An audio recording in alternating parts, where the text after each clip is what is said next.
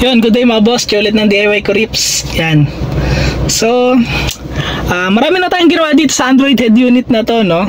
Ah, inalam na natin yung power source niya, kung alin yung ah, harness na ikakabit nyo para ma-power up siya. Tapos, pinagapang na rin natin yung mga antena. Yan. Dito natin nilagay yung sa GPS, pati yung sa 4G antena. Meron rin dito 4G antena. Ah, tapos, kinabit na rin natin yung mga sakit sa likod. Ah, yung galing doon sa stock na harness, kinabit na natin doon sa sakit na itong head unit. Tapos kinabit na rin natin yung GPS, yung antenna, pati yung para doon sa USB. Nandito, no? Ito. USB port, dalawa, tapos para sa SIM card. Yan, nakakabit na lahat. Ang wala na lang dyan nung nakaraan ay yung ating steering wheel control, pati yung camera, yung 360 camera. Yan, yung 360 camera, matrabaho kasi yun, kaya ihuhuli ko yun. Pero, yung steering wheel control, nahanap ko na siya, no? Yan. Pambihira yan, walang ka manual-manual yung pinadala sa atin. Pero, yan, kaka-testing-testing natin, nahanap na natin yung steering wheel control. So, ito, testing natin, no, yung radyo. Yan. Pero nakamute yan, no? Kung mapapansin nyo, yan, nakamute. Yan. Pero, gagamitin ko yung steering wheel para ilipat-lipat siya. Pero syempre, walang sounds. Makikita nyo lang dito na lumilipat-lipat na siya ng channel. Yan. Ito. Yan. Ayan, no? Lumilipat-lipat na. Try natin lagyan ng konting volume.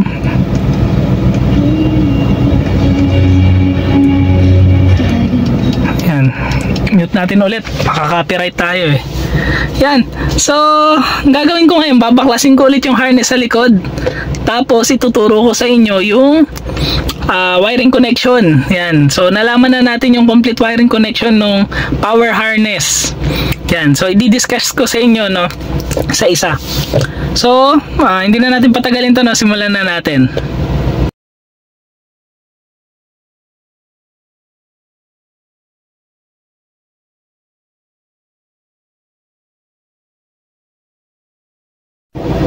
So ito na no, tinanggal muna natin ulit yung ating head unit.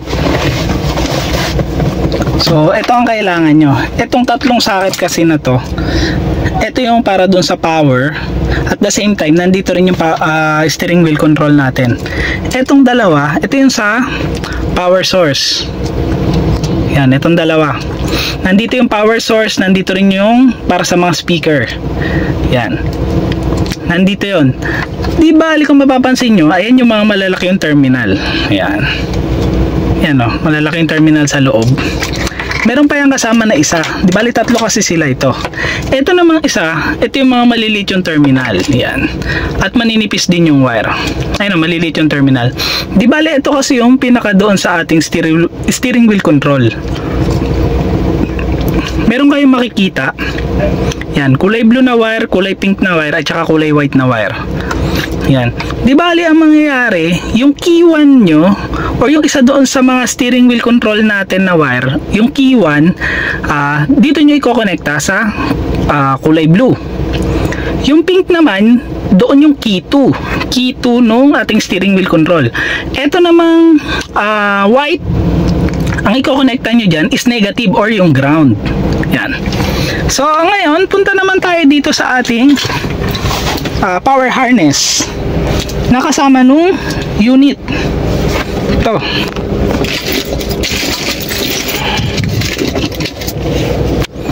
Di bale, ito yung pinaka sinasaksak dun sa head unit. Yan. Ito naman yung kinokonekta natin doon sa stock na harness. Ito yung para dun sa power. Yan. Dito yan doon sa dalawa, yung malalaking terminal na tinuro ko kanina. Ito yan, ito yung kinokonekta nyo dyan. Ang problema, wala tayong socket para doon sa may steering wheel control. Ang kasama niyan ay ito. Yan. Ang laki. Pambira, hindi kasya eh. Yan o. Ito yung para doon sa steering wheel control. Ang ginawa ko, tinanggal ko na yung mga wire na nandito. Apat na wire yung makikita nyo dyan dalawang block ito ito dalawang block Yung isa nung tinanggal ko, naiwan yung terminal doon. Di bali, okay lang, di naman na kailangan. Dalawang black, isang orange, isang blue. Yan. Kung mapapansin nyo, nilagyan ko na lang muna ng shrinkable tube. Para hindi sila magdikit-dikit pagka sinukso ko doon sa butas. Yan, naka-shrinkable tube muna. Di bali, ang one natin dito is yung color orange.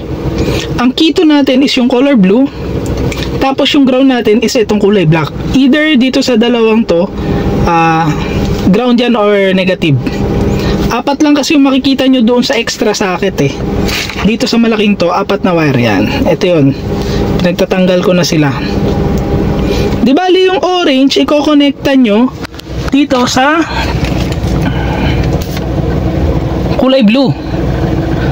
Tapos yung kulay blue naman natin dito, yan yung kulay blue naman natin, doon natin i-connecta sa kulay pink.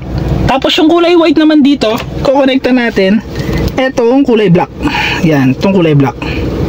Di bali, ayun lang ang kailangan nyo i-connecta para mapagana yung steering wheel control. Pero syempre, after nyo i-connecta yan, hindi pa muna gagana yan. Kailangan, i-set up nyo muna dito sa ating Android head unit. Yan. So, ang gagawin ko muna, uh, ikakabit ko na muna ulit to, tapos papakita ko naman sa inyo kung paano siya i-set up. eto na no, uh, nakabit ko na ulit yung harness tapos naikabit ko na rin yung wire doon sa may steering wheel control. Pero tignan nyo, punta tayo ng radio. Yan. Ngayon, kukontrolin ko siya. Uh, kahit na dagdagan pa ng volume yan, ayan no. Wala. Lipat naman natin to. Yan, oh. Hindi na siya gumagana. Yan. Oh. So, paano ba yung gagawin nyo? Once na naikabit nyo na yun sa wire doon sa steering wheel control, syempre, kailangan nyo munang i-set up yan. So, ang gawin nyo, punta kayo sa apps. Punta kayo ng car setting. Tapos, ayan, dyan yung makikita yung device port, yung system info, factory setting, car setting. Punta kayo dito sa steering learn. Ayan. So, ang gagawin nyo muna, uh, pipili kayo ng pinaka-action na gusto nyo mangyari. Yan. So, for example, yung volume up natin, ang gagawin nyo, pindutin nyo muna siya, tapos i-press nyo itong volume up. Ayun. Kung mapapansin nyo, set up successful. Yan. So, ngayon naman, pindutin nyo yung volume down. Ayan. Tapos, pindutin nyo to. Ayun. Set up successful again. Yan. Tapos, doon sa previous, ito. Yan. Tapos, hmm, successful ulit. Next, yan. Successful. Tapos, mode. Pindutin yung mode natin. Yun. Successful. Yan no, pagka hindi nyo kinonekta yung wire doon sa steering wheel control, kahit na pumunta kayo dito sa steering learn, magaan successful yan. Sayang hindi ko na video ang kanina no. Yung tinatry ko siyang uh, i-set up dahil hindi ko pa naman nako-connect yun sa steering wheel na wire, hindi siya talaga gumagana, nagfe-failed siya na nagfe-failed. So, para makakita natin kung working na siya, punta na ulit tayo dito sa ating radio. Yan. Ngayon, uh, try natin i-next. Ayun no? Lumilipat-lipat na siya. Ayan pabalik. Ayun no? All goods. Try natin lagyan ng sounds konti lang. Ayun ko alam kung narinig nyo no ayan pero kung makikita nyo ayan no nagkakaroon na ng volume dito sa gilid ayan oh yan So, ayun lang. Napagana natin yung steering wheel control. So, ang next na natin na video is yung installation na nung camera. So, tapusin na natin tong video na to, no? Hopefully, uh, may natutunan kayo. Ingat kayong lahat. Ride safe. God bless.